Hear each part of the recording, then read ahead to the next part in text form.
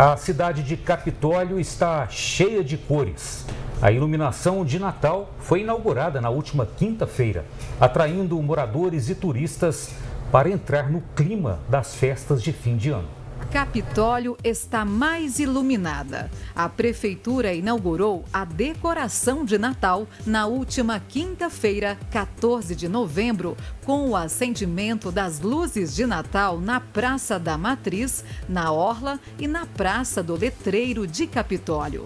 Capitolinos e turistas participaram do ato de inauguração e ficaram encantados com tanta beleza e cores que deixaram a cidade ainda mais charmosa, proporcionando momentos especiais para turistas, capitolinos e principalmente para as crianças. O prefeito Cristiano Geraldo da Silva comemorou a ação natalina.